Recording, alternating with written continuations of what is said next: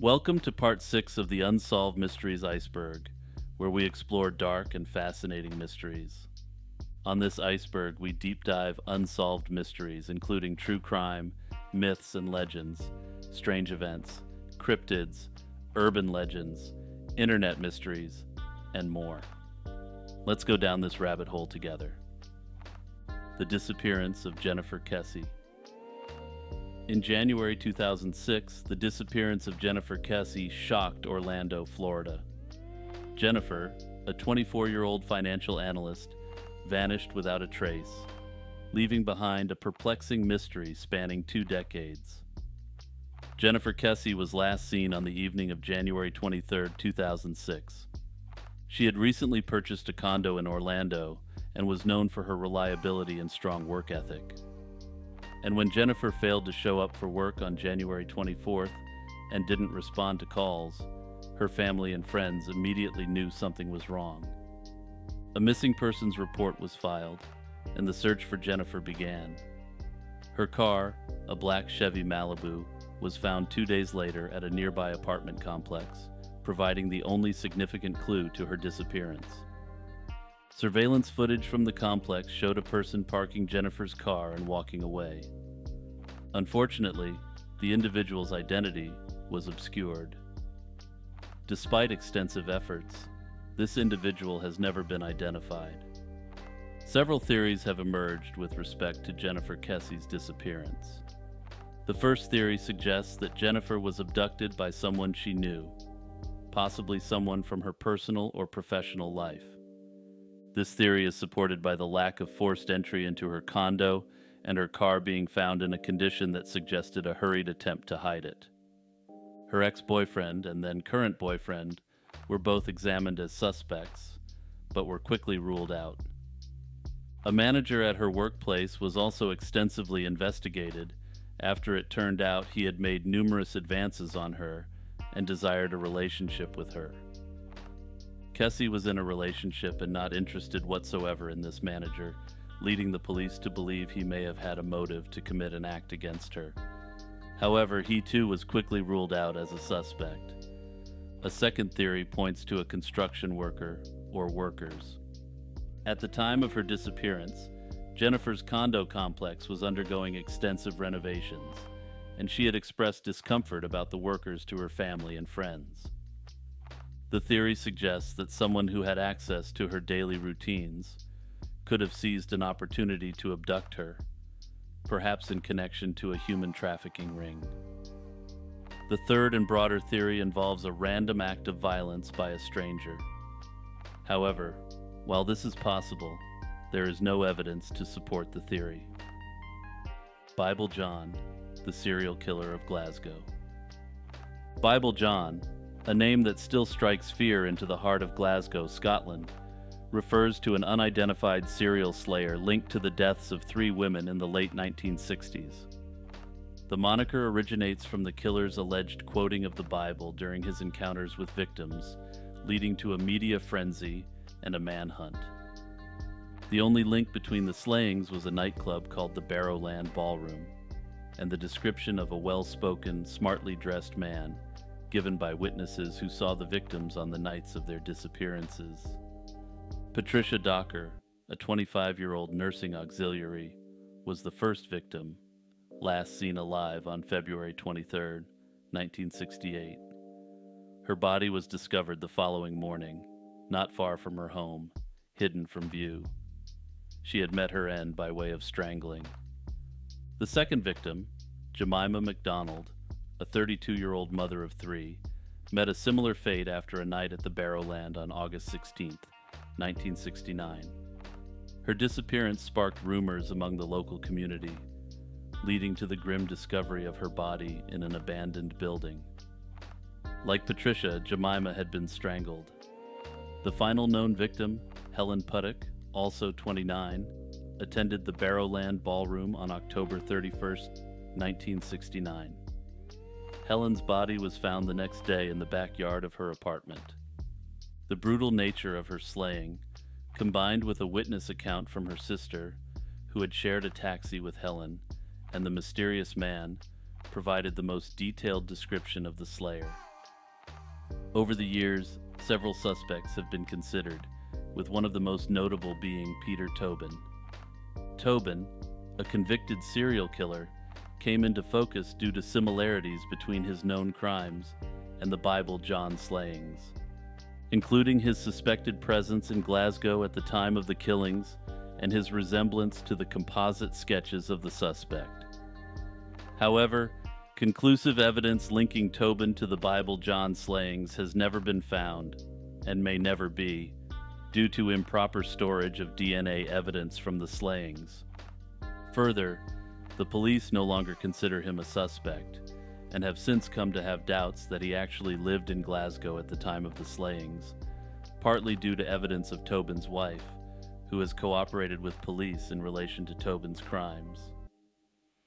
Numerous other suspects have been considered.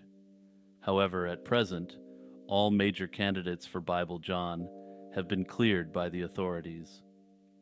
Elizabeth Bathory, the Vampire Countess. Elizabeth Bathory, often dubbed as the most prolific female serial killer in history, remains a figure shrouded in mystery and controversy. Born into a high noble family in 1560 in Hungary, her life story has transcended the realm of mere historical biography to become a legend intertwined with tales of horror and bloodlust. Yet, amidst this sensationalism, a critical question arises. Was Elizabeth Bathory a monstrous killer, or the victim of one of the greatest historical frame jobs of all time? Bathory's infamy is primarily linked to the alleged gruesome slaying of hundreds of young women. According to historical records, she was accused of committing heinous acts of violence, with testimonies from survivors and witnesses painting a grim picture of her cruelty. The stories suggest that Bathory's crimes were not only motivated by sadism, but also by a belief that the blood of virgins could preserve her youth and beauty. The quote unquote trial of Elizabeth Bathory was notably unconventional, even by the standards of the 17th century. She was never formally tried in court herself, nor was she allowed to defend herself against the accusations. Two trials were held of her supposed accomplices, in which it was claimed that the Countess killed up to 650 young ladies.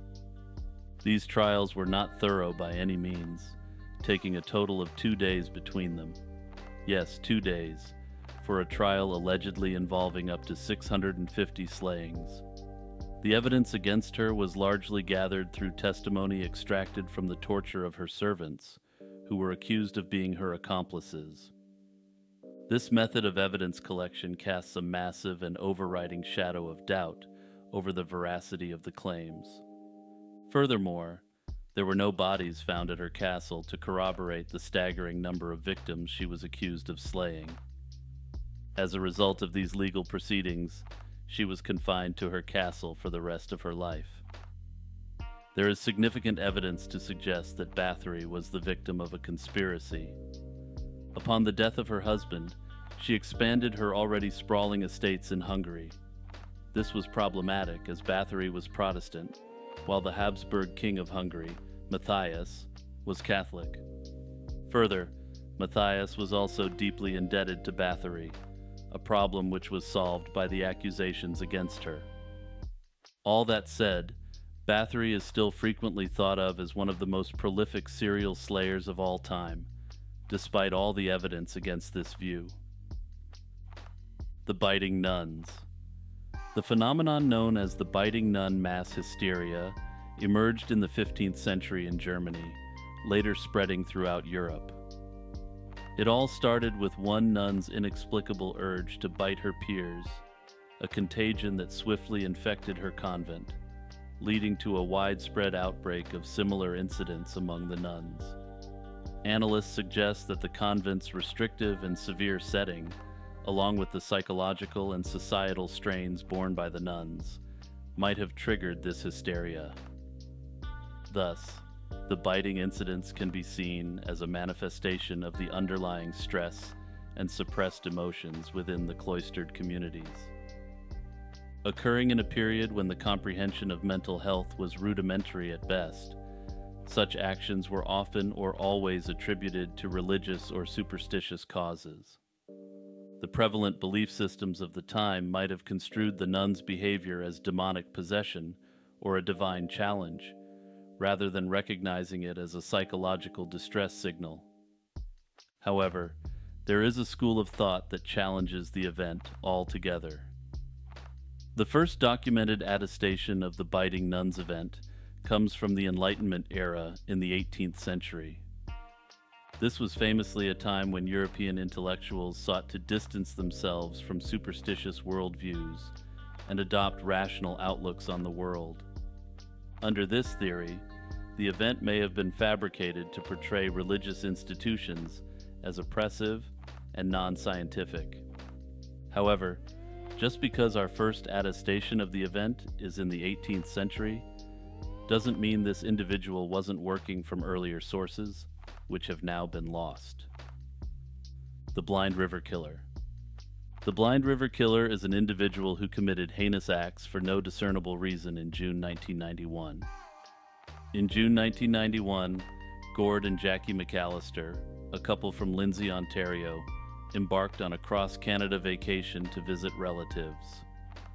Their trip took a tragic turn at the Blind River Rest Stop in Ontario when, in the early hours of June 28th, they encountered a man claiming to be a police officer who forced his way into their camper with the intent to rob and kill them.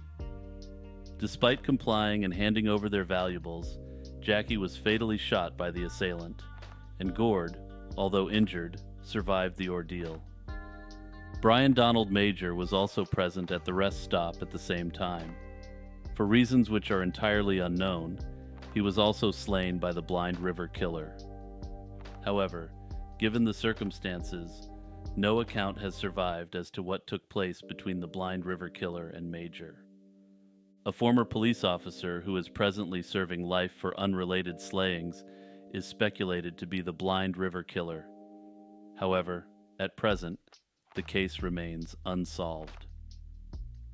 The West Mesa Slayings. The West Mesa slayings are one of New Mexico's most chilling unsolved crimes. Discovered in 2009 in Albuquerque, New Mexico, the remains of 11 women were found buried on the West Mesa, an undeveloped stretch of land within the city limits. The victims were largely involved in illicit activities and disappeared between 2001 and 2005.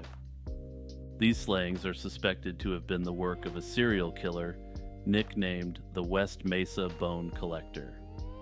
The grim discovery was made accidentally by a woman walking her dog, leading to a massive police investigation. Over the course of a year, the remains of the 11 women were excavated. Despite extensive forensic efforts, the cause of death for the victims could not be determined, largely because of the advanced state of decomposition. The Albuquerque Police Department launched what would become one of the largest investigations in the state's history, involving local, state, and federal agencies. Several theories have emerged over the years, ranging from the involvement of a lone serial killer to multiple perpetrators working together.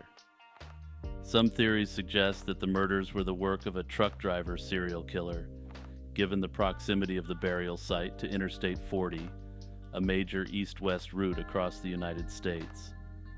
Others speculate about the involvement of gangs or cartels, given the victims' connections to drugs and the high level of violence associated with these groups. Several suspects have been investigated over the years, however, two are considered most likely. One of the early suspects was Lorenzo Montoya, who lived less than three miles from the burial site. Montoya had a history of violence towards women and was killed in 2006 after strangling a woman he had hired for her services. However, her quote unquote boyfriend intervened and fatally shot him over the strangling incident. No direct evidence has linked Montoya to the West Mesa murders, and his death before the bodies were discovered means that many questions remain unanswered. Interestingly, proponents of this theory point out that Montoya died in 2006, and the last body in the West Mesa was put there in 2005. Another person of interest is Joseph Blee, a local Albuquerque resident with a long criminal history, including a significant history of convictions in relation to SA offenses. Blee came to the attention of investigators because of his known activity in the area where the victims disappeared and his criminal background. In 2015, he was sentenced to 38 years on unrelated charges in relation to heinous acts. Police have found circumstantial evidence linking Blee to the slayings, but nothing concrete. The kidnapping of Shergar. Shergar, a celebrated Irish racehorse, became an international sensation, not just for his accomplishments on the racecourse, but also due to his mysterious disappearance in 1983. Born in 1978, Shergar was known for his remarkable speed and agility winning the 1981 Epsom Derby by a record margin of 10 lengths, an achievement that remains unmatched. Owned by the Aga Khan, a prominent figure in thoroughbred racing, Shergar's career was illustrious, earning him numerous accolades and making him one of the most valuable stallions at stud at the time of his kidnapping. After the record win at the Epsom Derby, this Irish stallion was valued at a massive 10 million pounds in 1981. Adjusted for inflation, Shergar was valued at nearly 40 million pounds in 2024 values. On the evening of February 8, 1983, a group of armed men broke into the Ballymany stud in County Kildare, Ireland, where Shergar was housed. The assailants, masked and wielding firearms, kidnapped the horse, holding the stud's head groom at gunpoint. The event sparked a massive search operation and led to widespread media coverage, turning the case into one of the most notorious animal kidnappings of the 20th century. Theories and suspects surrounding Shergar's disappearance are varied, but the most prominent theory involves the Irish Republican Army, better known as the IRA. It is widely speculated that the IRA orchestrated the kidnapping as part of an effort to secure funding for their operations. The theory is supported by several pieces of circumstantial evidence and later claims by individuals allegedly involved with the IRA. However, despite extensive investigations, no one was ever officially charged in relation to the crime, and the IRA has never admitted involvement. Other theories suggest that the kidnapping was the work of a criminal gang unaffiliated with any political organization, possibly international, who saw the value in Shergar as a ransom target. However, these theories have not been as thoroughly substantiated as the IRA involvement hypothesis. Despite efforts by authorities and private investigators, the case gradually grew cold, with no significant breakthroughs. Shergar's fate remains a mystery. The consensus among investigators and those close to the case is that the horse was likely unfortunately slain by his kidnappers shortly after the abduction, possibly due to the inability to control such a high profile animal or to negotiate a successful ransom. However, others have speculated that upon the failure of negotiations, the horse may have been sold to an unscrupulous breeder. In my view, I don't see this as a meaningful possibility, as in this case, Shergar would likely have had a large number of offspring who would now be connected by DNA to his known progeny. This theory, in essence, requires a closed system where the post kidnapping progeny would never be let out into the general racehorse population. Thies, the werewolf of God. Thies of Kaltenbrunn, often known by the monikers the Livonian werewolf or the werewolf of God, was a man whose life and subsequent disappearance are, to put it mildly, cinematic. He hailed from Livonia, present day Latvia, and Estonia, a region steeped in folklore and superstition. The 17th century was a tumultuous period in European history, characterized by religious upheaval, witch hunts, and a deep fascination with the supernatural. It was against this backdrop that Thies's story unfolded, with extraordinary claims and the mysterious circumstances surrounding his disappearance. Thies's story is particularly notable for his trial in 1692, where instead of denying accusations of witchcraft as was common, he boldly proclaimed himself to be a werewolf as his defense. However, his version of lycanthropy diverged sharply from the malevolent creatures of lore. Thies claimed that he and other werewolves were warriors of God, venturing into hell three times a year to battle the devil and his witches, thereby ensuring a bountiful harvest for their communities.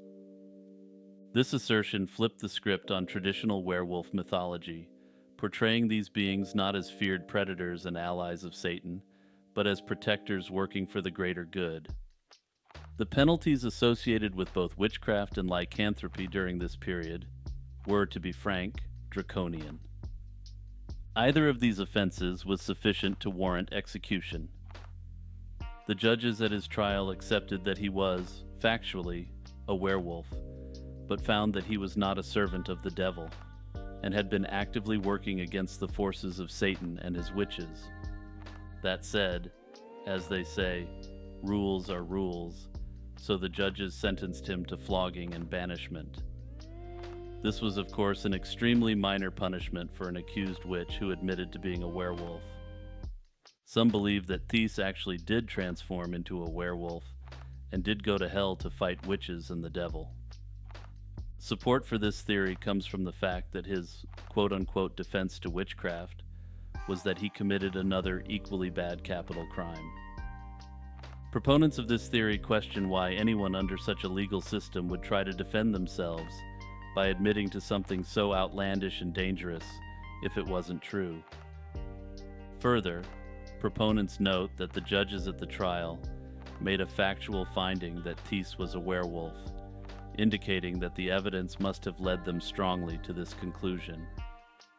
In response, critics of the theory argue that Thies was accused of being a witch, and there was evidence of him conducting blessings without invoking the name of God. Given this, he likely would have been found guilty of witchcraft and ended, and as such, he had nothing to lose by fabricating a story which didn't exonerate him on the basis that he was not a witch, but rather on the basis that his actions were justified. After being banished, Thies disappears from the historical record. Some point to this as a mysterious disappearance, supporting the fact that perhaps he was a werewolf and returned to his pack. More grounded explanations assert that Thies was only of historical note due to the trial, and there was no reason for any record to exist of him either before the trial or after. Also, Netflix, please make a show about Thies. Thanks. The Red Baron. The Red Baron, Manfred Albrecht Freiherr von Richthofen, remains perhaps the most legendary figure in the history of aerial combat. Born on May 2, 1892, in Breslau, now located in Poland, Richthofen became a pilot in the German Air Force during World War I. He is credited with 80 air combat victories, making him the war's top scoring ace. His nickname stems from the fact that he painted his plane a bright red, and also from the fact that he was, legitimately, a baron. Richthofen's fame stems from his extraordinary skill as a pilot and tactician, his role in developing aerial combat tactics, and his leadership of the Flying Circus.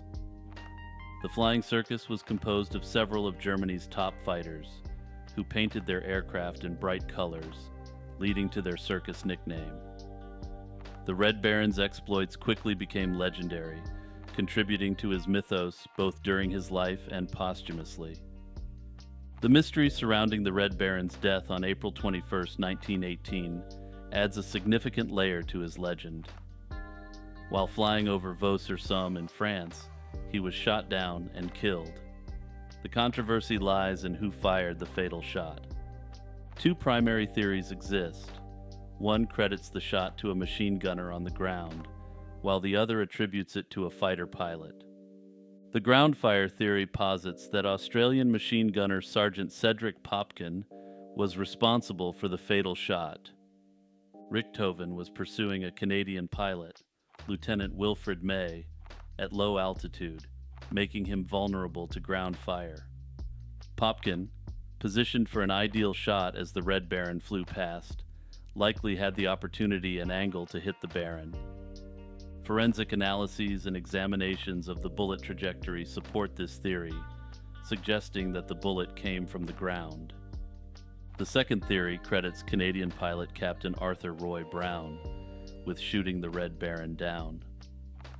Brown was engaged in the dogfight, attempting to protect May from the Red Baron. He fired at Richthofen from a challenging position, and it was initially believed that Brown's gunfire brought the Red Baron down, earning Brown official credit for the victory. However, several factors complicate attributing the victory to Brown. The angle of the shot, the distance, and the maneuvers involved make it less likely that Brown's fire was the cause. Furthermore, the nature of the Baron's wounds suggests a bullet that traveled upward through his body, more consistent with ground fire than an aerial attack. No definitive conclusion has been reached, and it's likely that the mystery will never be fully solved. However, at this point, even though Brown is still officially credited with the victory, the vast majority of historians no longer accept this claim. Further, during the war, there was a strong propagandistic incentive to portray the Red Baron as being felled in aerial combat, rather than by a machine gunner on the ground. Bill and Peggy Stevenson.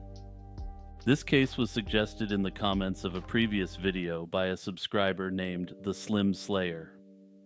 Thanks for bringing this disturbing case to my attention. Also, quick aside, if your suggestion makes it into a future video, you'll get a shout out as well. So leave suggestions in the comments below. In late May 2011, the quiet town of Florence, Kentucky, was shaken by a gruesome discovery that quickly escalated into one of the state's most perplexing unsolved slayings. Bill and Peggy Stevenson, both in their mid 70s, were found dead in their home over the Memorial Day weekend, launching an investigation that, despite extensive efforts, has yet to yield a conclusive resolution. Bill, a well regarded truck driver, and Peggy, a devoted church nursery worker, were deeply embedded in their community, particularly within their local church. Their commitment to their faith and community service made the news of their death not only shocking, but profoundly incomprehensible to those who knew them. The Stevensons were last seen alive at a service at the Union Baptist Church, where they were regular attendees and active members. The discovery of their bodies was made by a relative who grew concerned after the couple failed to show up for church on Sunday, which was highly unusual for the devout pair. Upon entering their home, the relative was met with a scene that suggested a violent struggle had taken place. Both Bill and Peggy had been subjected to what can only be categorized as an extremely brutal attack.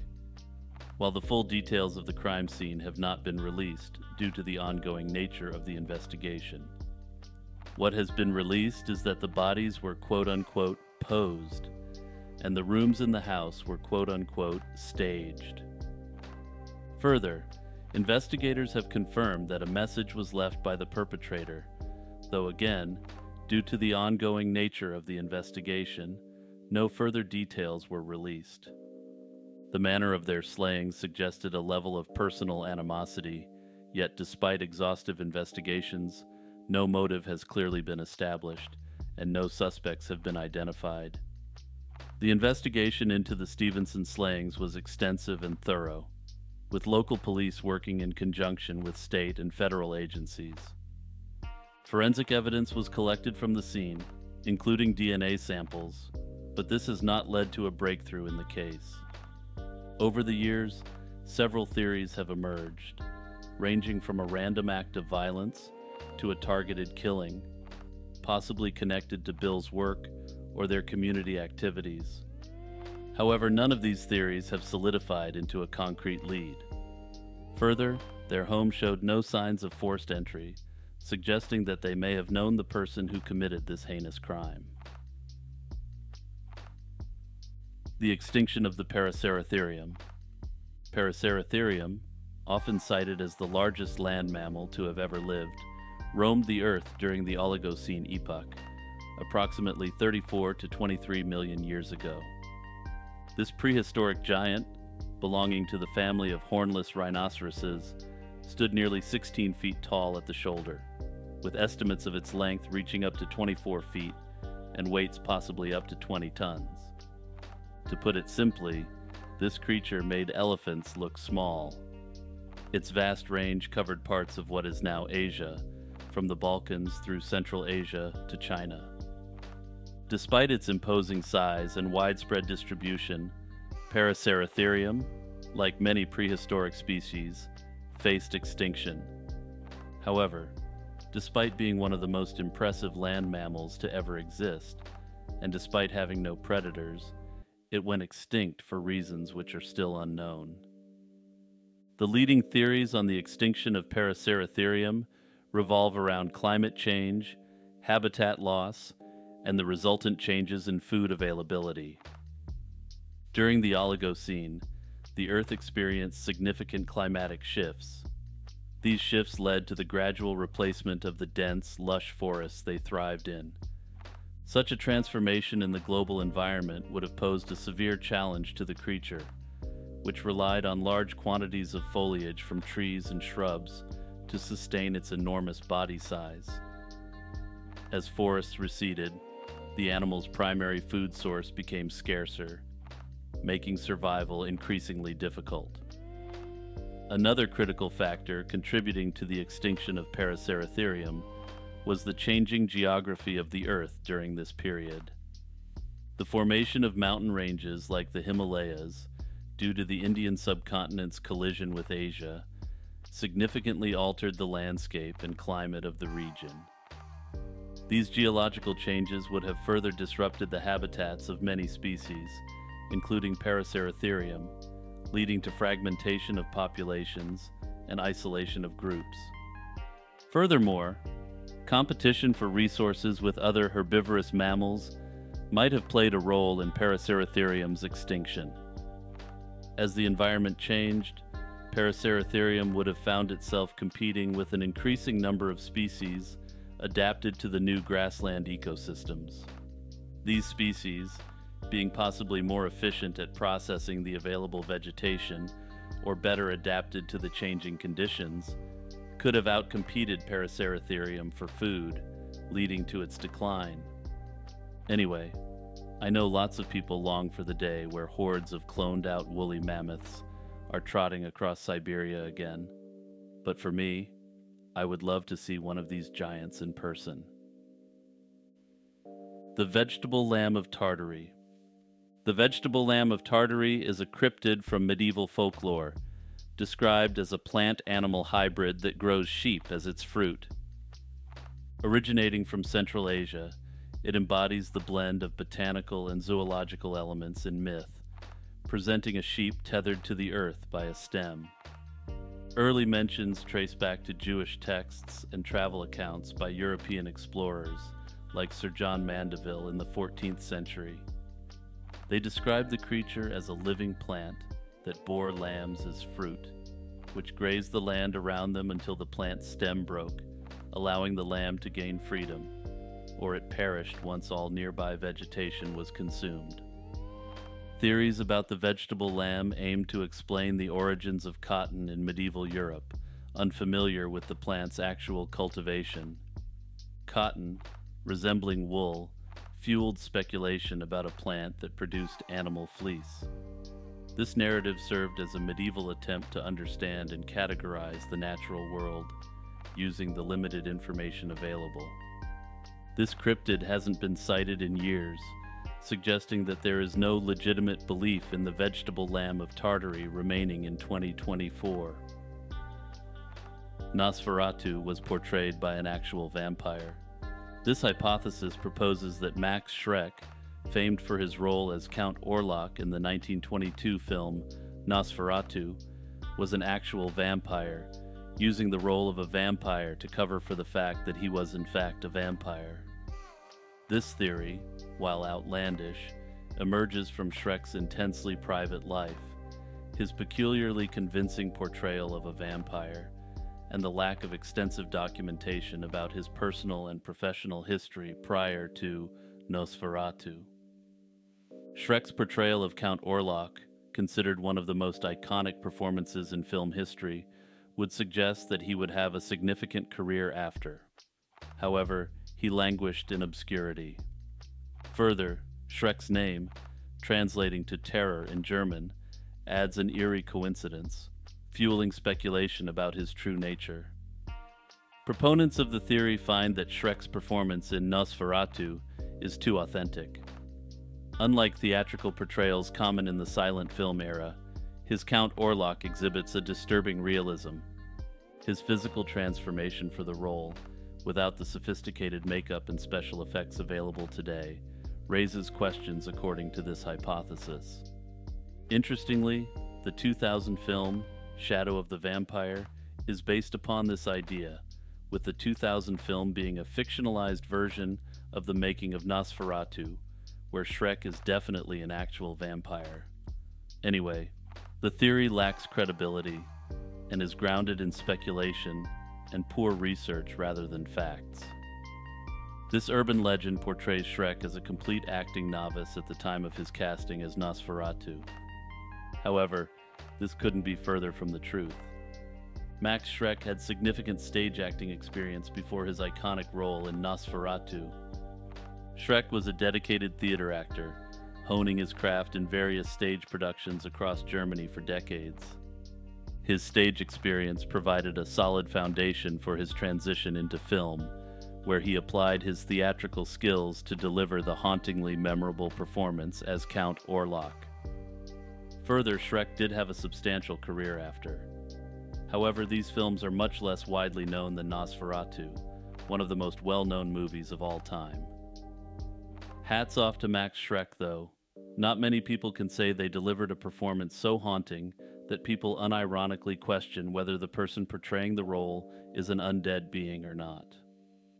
If you like what you're seeing, do me a huge favor and hit the like button, the subscribe button, and that sweet notification bell. This helps my channel grow and lets me spend way more time in the kitchen cooking up content for you. Also, the Lazy Chill Zone Discord community is always growing, so hit the link in the description to join up. Also calling all Chads and Chadettes, join up on the Patreon or the YouTube membership both links are in the description. The 2008 Lane Bryant shooting. The Lane Bryant shooting was a harrowing event that unfolded on the morning of February 2, 2008, in Tinley Park, a suburb of Chicago. This tragic event resulted in the loss of five innocent lives. On February 2, 2008, a man posing as a delivery person entered the Lane Bryant store before store opening hours under the guise of making a delivery. Within moments, the situation rapidly deteriorated as he revealed his true intentions, turning a routine day into a nightmare for the store employees and customers present. The assailant took six women hostage, binding them with the materials he found within the store. The ordeal culminated in the execution style slayings of five of the six hostages, leaving the nation shocked by the pointlessness and brutality of the crime. In the aftermath of the shooting, law enforcement agencies launched a comprehensive investigation, but no suspect has been named. The surviving victim was thankfully able to give a description sufficient for the police to release a sketch of the slayer. The case is still being actively investigated, with my research showing that two new investigators were put on the case in 2008. At this point, I have to suspect there is a very good chance that the killer may be incarcerated on unrelated charges. The disappearance of Roberto Solis. Roberto Solis, once known by the pen name Pancho Aguila, is a notorious criminal who disappeared under mysterious circumstances in October 1993. His criminal tale begins in 1969, when at the age of 24, Solis was convicted of slaying a security guard during a failed robbery. This violent act earned him a lengthy sentence in San Quentin State Prison, where he began to write poetry. His poetry was cited as indication of turning over a new leaf. However, despite his literary pursuits, Solis's criminal instincts were far from reformed. After serving 24 years, Solis was released on parole in 1992. By then, he had transformed himself into a seemingly reformed character, an artist who had supposedly turned away from his violent past. However, this facade quickly crumbled. In 1993, Solis masterminded one of the most audacious heists in Las Vegas history. Along with his accomplice and girlfriend, Heather Tallchief, Solis stole $3.1 million from an armored car. This theft was not just remarkable for the amount stolen, but for the methodical planning and execution that left no direct traces to Solis or Tallchief. After the heist, he and Tallchief fled the United States, leaving behind few clues of their whereabouts.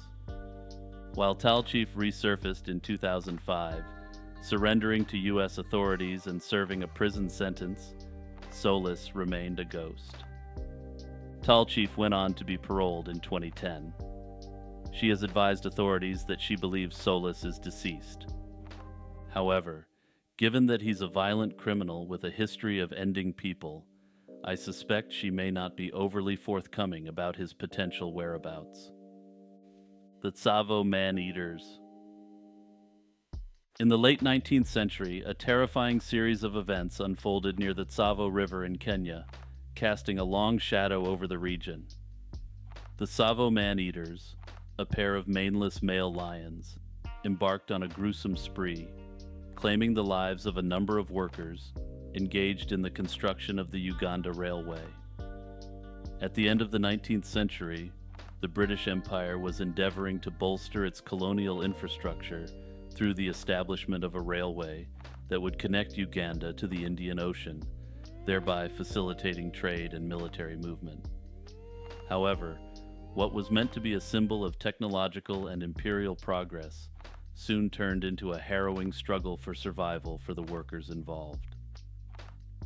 Over several months in 1898, the Tsavo man-eaters instilled fear and chaos, halting construction as they preyed upon the railway workers with alarming audacity and intelligence. Several theories have been proposed to explain the lion's unusual behavior. A common assertion points to the scarcity of natural prey due to a concurrent severe drought, pushing these predators to seek alternative food sources. Another theory suggests that an outbreak of rinderpest, a devastating cattle disease, decimated local wildlife populations, further exacerbating the situation. Another theory suggests that the lions had contracted a dental disease, which prevented them from hunting their usual prey. Also, perhaps unsurprisingly, more unusual and sensational theories were promoted by less than reputable journalistic outlets at the time.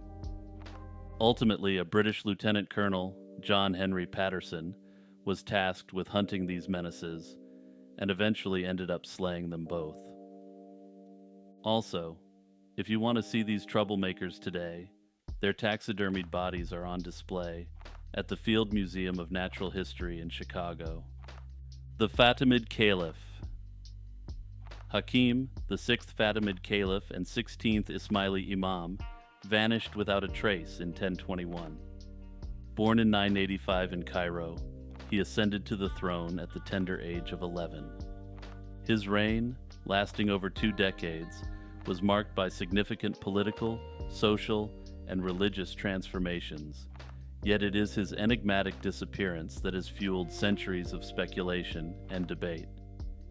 Al Hakim's rule was characterized by its eccentricities and contradictions. He was, to say the least, not a consistent individual. He implemented progressive policies, such as founding the House of Knowledge, a key center for intellectual and cultural exchange. Conversely, his reign saw the imposition of strict and peculiar decrees, including bans on chess and the consumption of certain foods. Al Hakim's treatment of religious minorities oscillated dramatically. He alternated between periods of tolerance and severe persecution. The night of his disappearance, Al Hakim went for one of his customary nocturnal rides in the Mukattam Hills near Cairo and never returned. The search for him yielded only his donkey and blood-stained garments. This abrupt vanishing act gave rise to numerous theories. Some posit that he was ended by his own sister, Sit al Mulk, who opposed his policies and subsequently assumed power as regent for her nephew. However, detractors point out that there is no evidence whatsoever to implicate her, and the transfer of power was not unusual. Others suggest he fell victim to a conspiracy by the military or by rival political factions within his empire. A more mystical theory embraced by the Druze, a religious group that reveres Al Hakim, proposes that he disappeared and will return as a messianic figure. Further, some have posited that he had become interested in mysticism and asceticism and wished to escape from the confines of the caliphate. At any rate, it seems unlikely that we will ever have a definitive answer to this mystery. Our Lady of Guadalupe Our Lady of Guadalupe holds a significant place in religious and cultural history, particularly within the context of Latin American Catholicism. In 1531, a pivotal event occurred on the hill of Tepeyac near Mexico City, marking the birth of a symbol that would unify and inspire millions for centuries to come. A poor indigenous man named Juan Diego experienced a series of apparitions of the Virgin Mary. She requested a church to be built on that site in her honor. When Juan Diego reported this to the local bishop, he was met with skepticism. In need of proof, the Virgin Mary instructed Juan Diego to gather roses from the hilltop, despite it being winter when no roses should bloom. Miraculously, he found Castilian roses, not native to Mexico, and gathered them in his tilma, a type of Aztec cloak. Upon presenting these to the bishop, the image of the Virgin Mary was miraculously imprinted on the fabric of the tilma. The Virgin Mary appearing on an indigenous cloak has been speculated to be the start of an ethnogenesis, the blending of the cultures and values of the native culture with Spanish culture. Further, the fact that it was Castilian roses, a type of Spanish rose, on an indigenous cloak makes the whole event seem very much on the nose. Several theories have been proposed to explain the origin and significance of the image. Some researchers focus on the miraculous nature of the image's survival over centuries without degradation, which contradicts the natural properties of the materials involved. Others delve into the iconography and symbolism embedded in the image, suggesting it was a strategic tool for evangelization, designed to resonate deeply with the indigenous population's beliefs and values. The historical context of the apparition is crucial to understanding its impact. The early 16th century was a period of turmoil and transformation in what is now Mexico. The Spanish conquest had led to the collapse of the Aztec Empire, and the indigenous population faced the destruction of their social, political, and religious structures. The apparition of Our Lady of Guadalupe is seen by many as a beacon of hope and a source of comfort and identity for a people struggling under the weight of harsh colonization. The tilma, with the image of Our Lady of Guadalupe, is currently housed in the Basilica of Our Lady of Guadalupe in Mexico City, one of the most visited Catholic pilgrimage sites in the world. The image has been subjected to various scientific analyses over the years, with researchers examining its properties to understand its preservation and the technique used in its creation. However, no consensus has been reached as yet. Also, whatever happened to our friend Juan Diego, who saw the Virgin Mary? Well, he went on to become the first saint indigenous to the Americas, again further confirming this event as a syncretization of the New World with the Old World. The 2001 anthrax attacks. In the weeks following September 11th, the United States faced another sinister threat the anthrax attacks. Letters containing anthrax spores were mailed to news media offices and two U.S. senators, leading to five deaths and 17 infections. This biological assault created widespread panic and confusion, marking a critical moment in U.S. history and biosecurity policy. The first case was reported on October 4, 2001, when Robert Stevens, a photo editor for the Sun tabloid in Florida, was diagnosed with inhalational anthrax. He eventually succumbed to the anthrax bacteria, becoming the first known victim. Subsequently, letters laced with anthrax were discovered in offices in New York, Florida, and Washington, D.C. The anthrax strains found in the letters were quickly linked to a specific strain, which was used in U.S. biodefense labs. This connection led investigators to focus on domestic sources, particularly scientists or individuals with access to these labs. The investigation, named Amerithrax by the FBI, became one of the largest and most complex in U.S. history. One significant aspect of the anthrax attacks was the heightened sense of vulnerability they exposed. Coming so soon after 9 11, these attacks underscored the potential for non traditional warfare to inflict harm on civilian populations. The fear and uncertainty generated by the anthrax letters led to a surge in emergency room visits, an increase in the purchase of antibiotics, and a reevaluation of the nation's preparedness for bioattacks. The Amerithrax investigation initially faced significant challenges, including false leads and a focus on a scientist named Stephen Hatfill, who was later exonerated. It wasn't until 2008 that the FBI identified Dr. Bruce Ivins, a senior biodefense researcher at the U.S. Army Medical Research Institute of Infectious Diseases, as the primary suspect. Ivins had access to the strain of anthrax used in the attacks and had been involved in the development of anthrax vaccines. However, before charges could be filed, Ivins ended himself in July 2008. The FBI declared at that point that Ivins had acted alone and that the file was closed. The FBI's conclusion that Ivins acted alone has been met with skepticism and criticism from various quarters. Most notably, individuals within the FBI itself indicated that the lack of any anthrax spores whatsoever in any area associated with him cast a great deal of doubt on the case. Some argue that the evidence against Ivins was circumstantial and that the investigation failed to explore other possible suspects or motives. Further, it's important to remember that just because Ivins ended himself, this does not constitute a confession or an admission of guilt. The extreme stress of impending charges for one of the worst attacks in American history may have led Ivins to break and end himself. Ross McDonnell.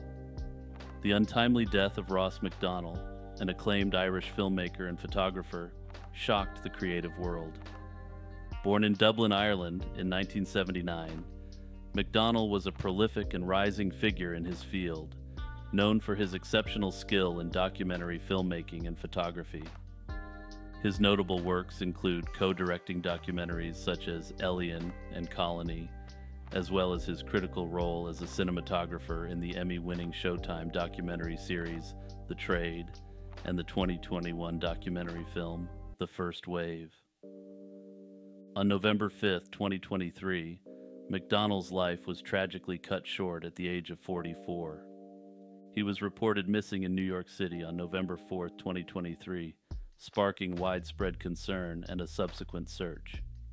His body was discovered on a beach in Breezy Point, Queens, on November 17th, and officially identified on November 22nd. The circumstances surrounding McDonnell's death have been shrouded in mystery with initial reports suggesting no foul play. However, his body was discovered both headless and armless, leading some to question his cause of death. Police are presently working under the theory that he went out for a swim alone, something happened, and the state of his body was caused by rocks and marine life rather than foul play. The identity of Empress. Empress is a notable figure in the online world recognized for her expertise in cracking DRM, digital rights management, protections on video games. She operates anonymously, with her identity shrouded in secrecy, a common practice in the hacker and cracker communities to avoid legal repercussions and maintain privacy. Empress first gained significant attention for cracking Denuvo, a notoriously tough DRM system that many considered virtually unbreakable. Empress's breakthroughs not only demonstrated her advanced understanding of reverse engineering, but also her commitment to challenging the constraints of DRM technologies. Her work is often released on various online platforms, accompanied by manifestos criticizing the gaming industry's DRM practices, as well as unrelated screeds. Despite her extreme levels of knowledge and skill, the woman behind the Empress identity remains a mystery. However, it is believed she is actually one person, not a pseudonym used by a group. Further, it's believed that she resides or resided in Russia. The Wickenburg Massacre The Wickenburg Massacre unfolded on November 5, 1871, near Wickenburg, Arizona, then part of the Arizona Territory. This event involved the ambush and slaying of six passengers from a stagecoach en route from Wickenburg to Ehrenberg, Arizona. The massacre not only shocked and angered the frontier community, but also remains a subject of controversy and speculation, with various theories about the perpetrators and their motives still debated today. The stagecoach, carrying seven passengers and a large shipment of gold, was attacked approximately eight miles northwest of Wickenburg. The assailants, hiding in the brush alongside the road, opened fire on the stagecoach without warning. Six of the passengers were slain outright or mortally wounded.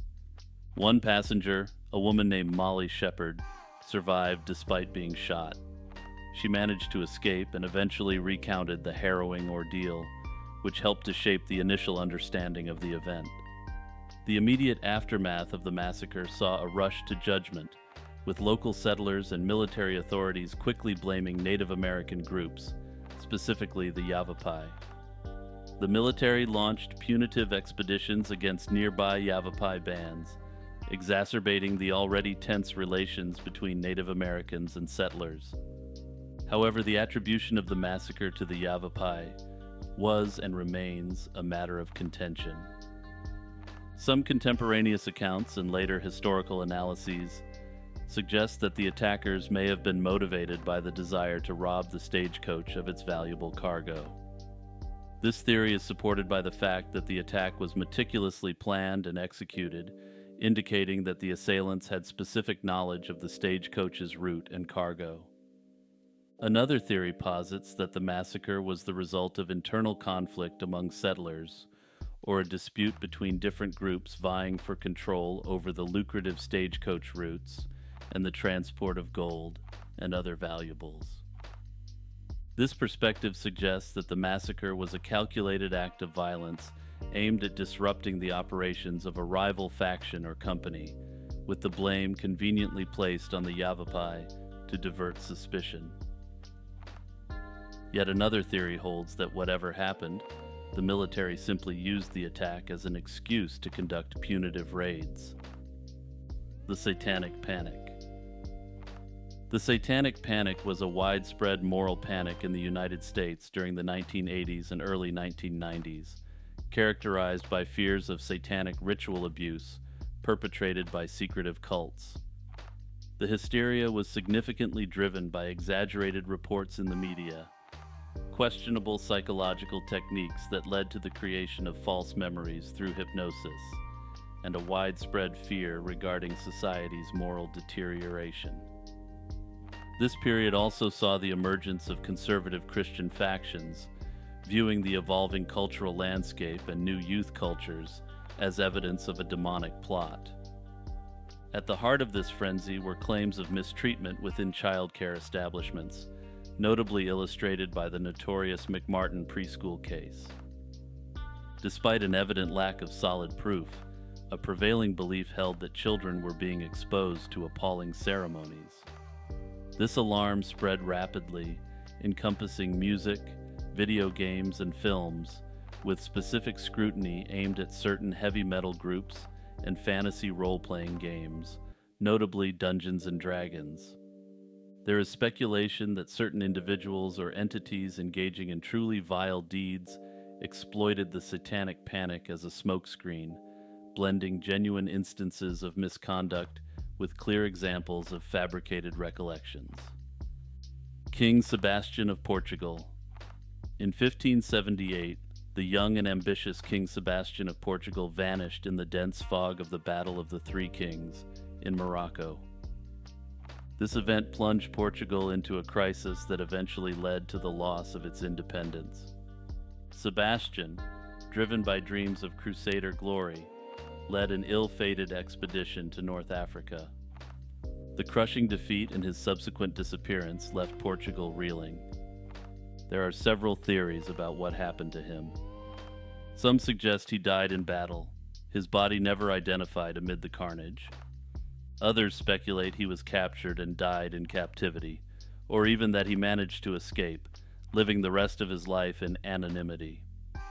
A more romantic theory posits that he survived and went into hiding, waiting for the right moment to reclaim his throne. A moment that never came and became increasingly unlikely with each passing year. The immediate consequence of Sebastian's disappearance led to a succession crisis that paved the way for the Spanish king, Philip II, to claim the Portuguese crown in 1580. This personal union, with Portugal very much playing the role of the junior partner, effectively initiated a 60 year period of Spanish rule over Portugal, known as the Iberian Union. This union had far reaching consequences for Portugal. The once mighty Portuguese maritime empire, pioneers of the Age of Discoveries, began to crumble, and the ambitions of the Portuguese were subsumed to Habsburg Spain. This is one unsolved mystery that, despite not being widely known, had massive consequences for the world, especially given the prominence of the Portuguese overseas empire prior to Sebastian's disappearance. The Slaying of Yasuko Watanabe The slaying of Yasuko Watanabe a 39 year old Japanese woman who worked as a senior economic researcher at Tokyo Electric Power Company and led a secret life as a paid companion at night, captured the attention of the nation. On March 9, 1997, Watanabe's life was tragically cut short by an unknown assailant in Harajuku, a neighborhood of Tokyo. Her body was discovered 10 days later in a vacant apartment in a nearby district of Tokyo in an area where she was known to engage in her nightly activities. Watanabe's slaying shocked Japan and highlighted several societal issues, including the stigma associated with paid companionship work and the challenges within the Japanese criminal justice system. One of the most notable aspects of this case was the wrongful conviction of Govinda Prasad Mainali, a Nepalese migrant who lived in an adjacent building to where Watanabe's body was found. Mainali became the prime suspect and was initially acquitted due to lack of evidence, but was later convicted on appeal by the Tokyo High Court and sentenced to an indefinite prison term. He spent 15 years in prison before DNA evidence emerged, proving his innocence and linking the crime to an unidentified third man. Mainali was released in June 2012, deported to Nepal, and later formally declared innocent in the matter. At present, no person of interest has been named by the police. The ivory billed woodpecker. The ivory billed woodpecker is a potentially extinct bird that was once prevalent across the southeastern United States. This species is or was known for its distinctive appearance and large size. Central to the discussion on the ivory billed woodpecker is its habitat. Historically, these birds thrived in extensive mature forests, particularly those abundant in dead or dying trees. These environments were essential not only for nesting but also for feeding, as the woodpeckers would forage for insects beneath the bark. However, the 20th century brought extensive logging operations that drastically reduced these habitats leading to a severe decline in the bird's population. By the mid 20th century, the ivory billed woodpecker was considered extinct, with the last confirmed sighting in the United States reported in 1944. Over the years, there have been numerous reports of sightings across the bird's historic range, particularly in Arkansas, Louisiana, and Florida, with a sighting in 2004 hitting national news. These accounts have sparked a series of searches and debates within the scientific community and among conservationists. The possibility that the ivory billed woodpecker could still exist prompts a significant question. How could a species deemed extinct remain undetected for so long? One theory posits that the bird's elusive nature and preference for densely forested, swampy areas make it particularly challenging to spot. The ivory billed woodpecker's behavior, such as its high canopy dwelling and infrequent calls, further complicates detection efforts. Additionally, the similarity in appearance between the ivory billed woodpecker and the more common woodpeckers often leads to misidentification, casting doubt on unconfirmed sightings. I hypothesize that the likelihood of rediscovering the ivory billed woodpecker hinges on the integration of technological advancements in current search efforts. The use of high resolution trail cameras, drones, and audio recording devices could transform the landscape of wildlife research by enabling extensive surveys of potential habitats while minimizing environmental disturbance. This approach not only enhances the efficiency of search operations, but also extends scientists' reach into previously inhospitable territories that the woodpecker prefers. The disappearance of l'oiseau blanc. The disappearance of l'oiseau blanc, or the white bird, remains one of the most intriguing mysteries in the history of aviation. On May 8, 1927, French aviators Charles Nungesser and Francois Coli embarked on a daring attempt to make the first non-stop transatlantic flight from Paris to New York City. This venture was not just a test of human endurance and aeronautical engineering, but also a race to achieve what was then considered the ultimate feat in aviation. The plane, a Levasseur PL-8 biplane, was specially designed for the long journey, equipped with enough fuel to cover the 3,600 mile distance. Despite their experience and the plane's preparation, the two vanished without a trace. Several theories have been proposed to explain the fate of L'Oiseau Blanc.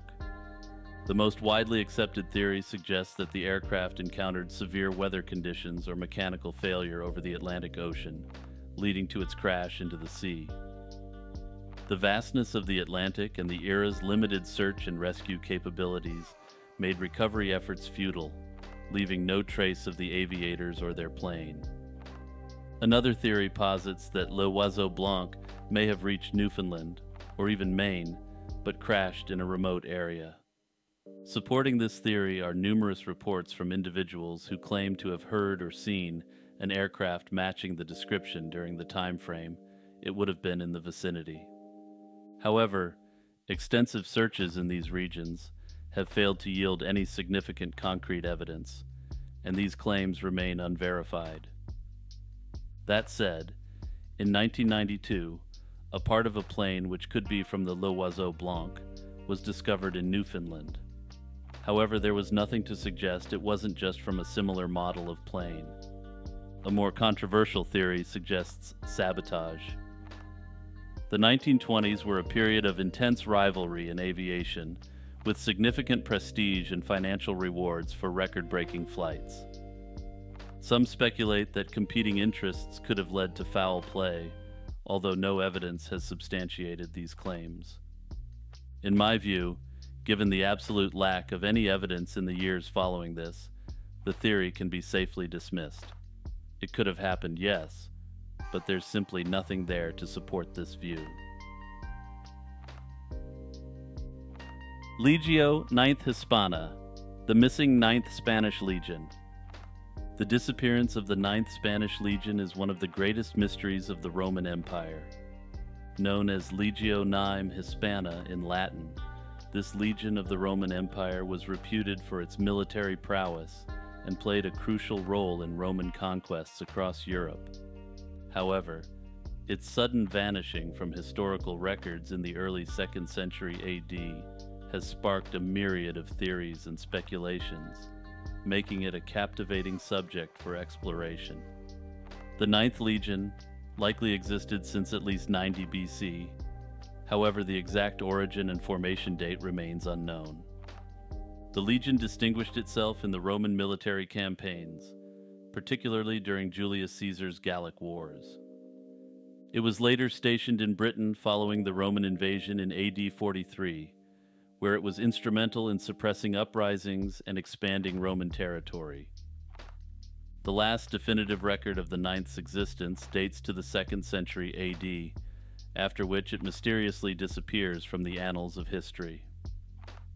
Several theories have been proposed to explain the fate of the Ninth Legion, each offering a different perspective based on historical evidence and archaeological findings. One prevalent theory suggests that the legion was decimated in battle, possibly during an uprising in Britain or in conflicts on the continent, such as the Bar Kokhba revolt in Judea, or in a war in Parthia in the 160s. Scholars consider the theory that the legion was destroyed during an uprising in northern Britain to be most plausible.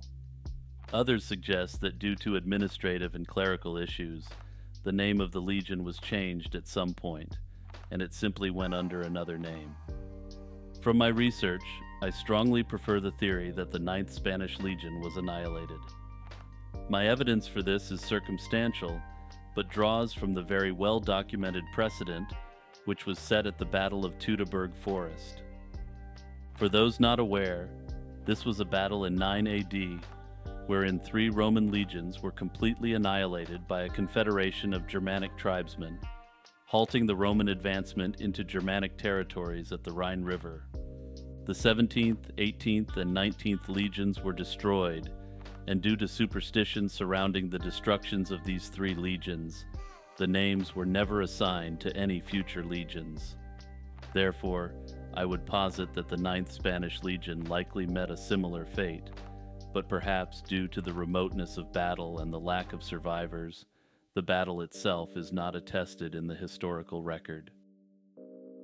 The Slaying of Gwen Story The slaying of Gwen Story, a 19 year old woman from Cincinnati, Ohio, has haunted Las Vegas since her body was discovered on August 14, 1979. Known as Sahara Sue, before her recent identification in December 2023, her case has remained a mystery for 44 years. Story was found stabbed multiple times, and despite extensive efforts, including DNA analysis and genetic testing, her killer remains unknown. Before her death, she had left Ohio with two male friends, aiming to find her biological father in California. The two male friends returned and advised Gwen Story's family that she had been left in Las Vegas. Her family never heard from her again. Police are presently seeking the two male friends for questioning in relation to Gwen Story's disappearance.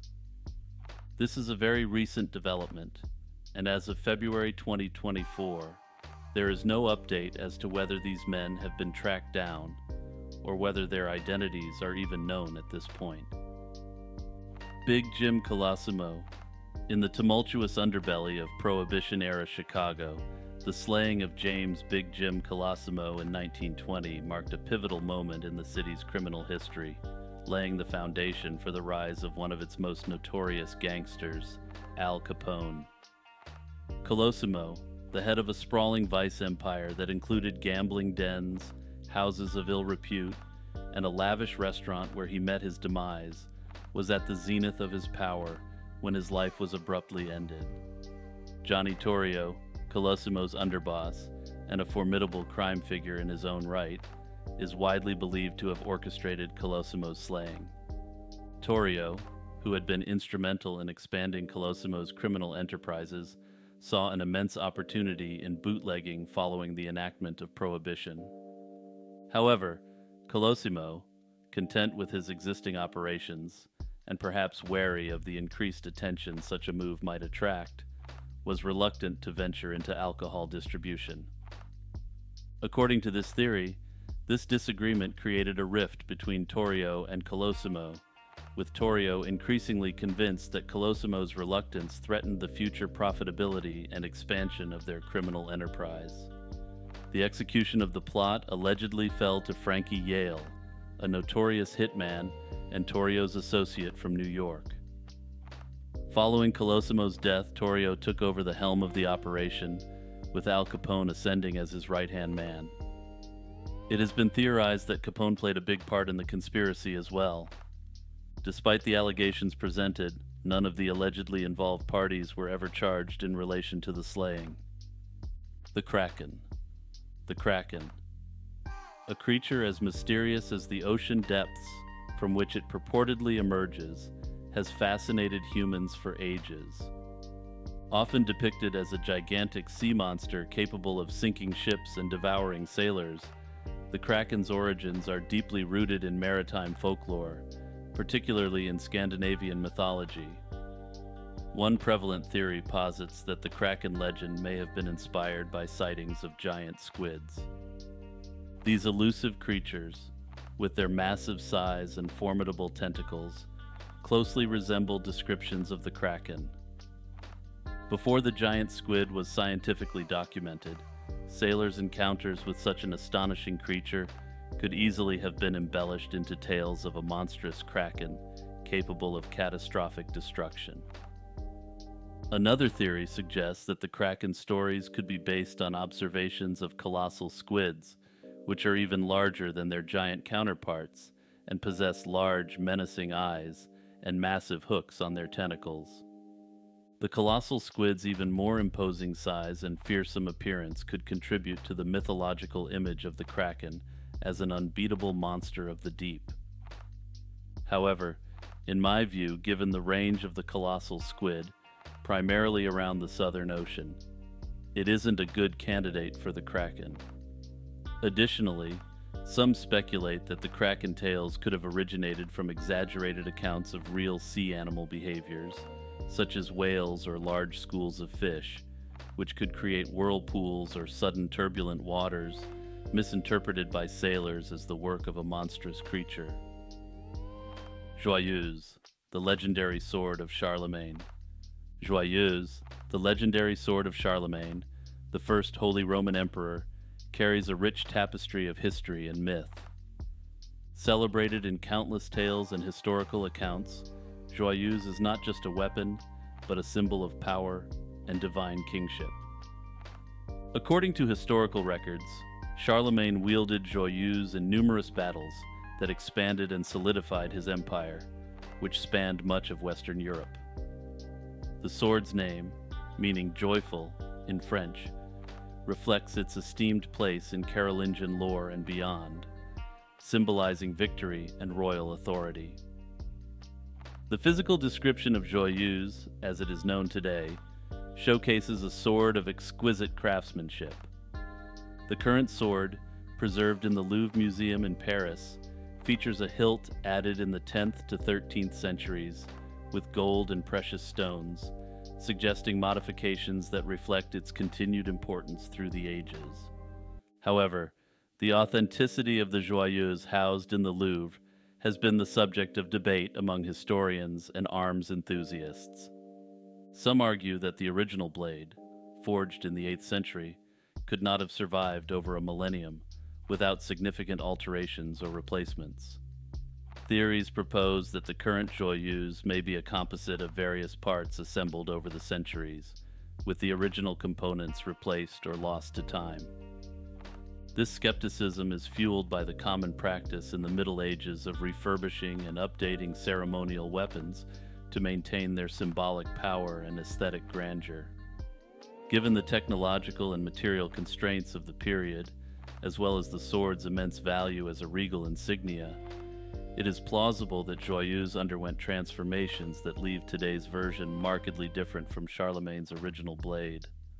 Moreover, the lore surrounding Joyeuse, filled with miraculous feats and supernatural qualities, adds layers of myth that challenge historical veracity. The blend of fact and fiction surrounding the sword makes it difficult to discern the true history from embellished legend. The first video game. The title of first video game is subject to some debate largely because it depends on how one defines a video game. However, I would propose that a video game needs a graphical display and some element of skill or input. Bertie the Brain is a notable early contender in the history of video games. Created in 1950 by Dr. Joseph Katz, Bertie the Brain was one of the earliest computer games and featured a tic tac toe game against an artificial intelligence. This game was showcased at the Canadian National Exhibition, making it one of the first instances where a computer game was demonstrated to the public. Bertie the Brain was a massive machine, standing over four meters tall, and was designed to showcase the capabilities of vacuum tube technology. While perhaps not as widely recognized as some other early games, Bertie the Brain represents a significant step in the evolution of interactive entertainment and the use of computers for gaming, marking an important milestone in the history of video games. OXO, released in 1952, was a tic tac toe game developed by Alexander S. Douglas for the EDSAC computer at the University of Cambridge. This game could be played against the computer and is considered by some to be the first graphical computer game. Tennis for Two, 1958. Often considered one of the first video games, Tennis for Two was created by physicist William Higginbotham. It was a simple tennis simulation displayed on an oscilloscope screen designed for visitors at the Brookhaven National Laboratory. Space War, released in 1962 and developed by Steve Russell and others at MIT, was one of the first computer games to gain what was, for the time, considered widespread popularity. Played on a PDP 1 computer, it featured two spaceships trying to destroy each other while avoiding a central gravitational well. However, in my view, the first video game is likely lost permanently to time, as it was likely programmed for the sole usage of one computer scientist, perhaps just to test briefly how an entertaining game would work on a computer. Esther Dingley. In November 2020, the disappearance of British hiker Esther Dingley in the Pyrenees Mountains between France and Spain sparked widespread attention and concern. Esther, an experienced hiker, was on a solo trek when she vanished without a trace, leading to extensive searches and media coverage. Her case not only captivated those following her travel blog, but also ignited a flurry of theories regarding her sudden disappearance. Months of uncertainty followed until, in July 2021, a tragic discovery was made. Esther Dingley's remains were found near the location where she last communicated with her partner. Despite the closure of confirming Esther's fate, the discovery raised more questions than it answered fueling speculation and theories about what truly happened to her on that fateful trek. One prevalent theory suggests that Esther may have had an accidental fall. The Pyrenees are known for their treacherous paths and sudden weather changes, posing significant risks even to experienced hikers like Esther. This theory is supported by the fact that her remains were found in a remote area which could indicate she veered off the main path and succumbed to a tragic accident. Another theory that emerged in the wake of her disappearance revolves around foul play. While less evidence supports this, the isolated nature of her trek and the delay in finding her remains have led some to speculate about potential encounters with dangerous individuals. Another theory, supported by her partner, is that she may have been accidentally slain by hunters active in the region, who, upon having committed this tragic mistake, covered it up. The mysterious death of Romulus. Romulus, a legendary figure, is generally hailed as the at best quasi historical founder of Rome. According to Roman mythology, Romulus and his twin brother Remus were the sons of Rhea Silvia, a Vestal virgin, and the god Mars. Abandoned at birth and left to die, they were miraculously saved by a she wolf who nursed them back to health. As they grew, so did their strength and ambition, eventually leading them to the site where Rome stands today. The twins wished to establish a city. However, a disagreement over its location led to Romulus slaying Remus, thus becoming Rome's sole founder in 753 BC. Romulus's reign was marked by significant achievements. including the establishment of Roman institutions, laws, and society's social structure. He is credited with creating the Roman Senate, forming the first legions of Rome, and significantly expanding the city's territory through both diplomacy and warfare. Under his leadership, Rome began its journey from a small settlement to a mighty empire. One of the most intriguing aspects of Romulus's story is his mysterious disappearance. Ancient sources provide various accounts of his end, each blending history with myth, leaving his fate open to interpretation. One popular theory suggests that Romulus was taken up by a storm or whirlwind, vanishing without a trace. This account often leads to the suggestion that he was deified, becoming a god. Another theory proposes that Romulus's disappearance was the result of a senatorial conspiracy. Dr. No, the Ohio serial slayer. This suspected serial killer's reign of terror over Ohio between 1981 and 1990 has left a dark shadow that persists to this day. Targeting women working as paid companions at truck stops and parking lots along Interstate 71, Dr. No's moniker emerged from an account of a survivor who noted that he was a regular nicknamed Dr. No. Dr. No is purported to have slain at least nine women. However, the police suspect that he is responsible for a number of other slayings. In the investigation of the Dr. No slayings, several truckers were considered suspects over the years due to their possible connections to the crimes. Alvin Wilson, a trucker from Lake County, Ohio, was scrutinized in 1991 after evidence such as hair samples and credit card receipts linked him to the slayings alongside an assault charge from 1990. However, he was never charged.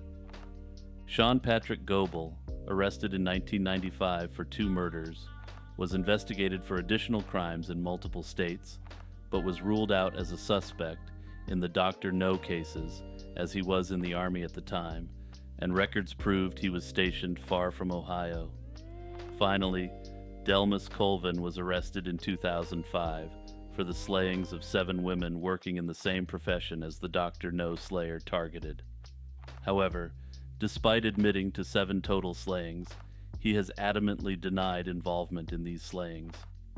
There is another theory of the case, however, and that theory is that the Dr. No slayings are not the work of a single individual, but rather the work of multiple people targeting women in a high risk profession in the same geographic region. Our Lady of the Turning Eyes. Our Lady of the Turning Eyes is a mysterious event involving a statue, quote unquote, coming to life. In the year 1643, amid the chaos of the Thirty Years' War, French armies laid siege to Rottweil, a city within what is now Germany, but was then part of the Holy Roman Empire. Historical records from the Dominican Order recount how 300 townspeople gathered in devout prayer before a statue of the Madonna and Child within their church. Witnesses on November 10th of that same year reported a miraculous event.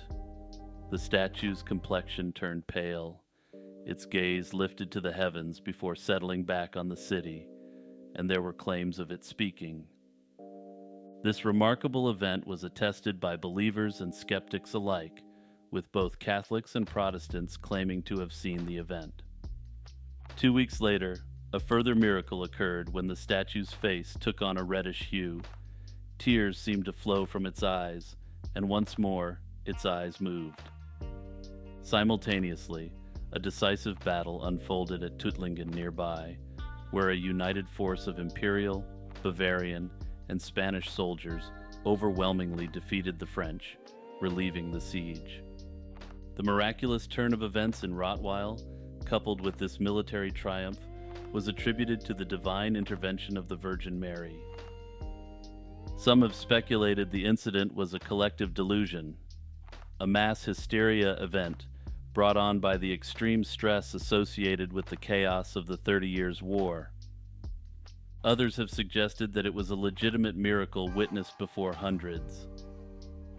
If you've enjoyed this video, I ask that you do me a huge favor and like, subscribe, and hit that notification bell. I'm constantly cooking up new content for you to enjoy. Also, if you want to be a true Chad or Chadette, join the Patreon or Lazy Chill Zone YouTube membership club and check out the Discord. The links are in the description. Shout out to my patrons Noah Schubert, Kazak Cutie, and Kurt the Squirt. Until next time, stay healthy and peace out.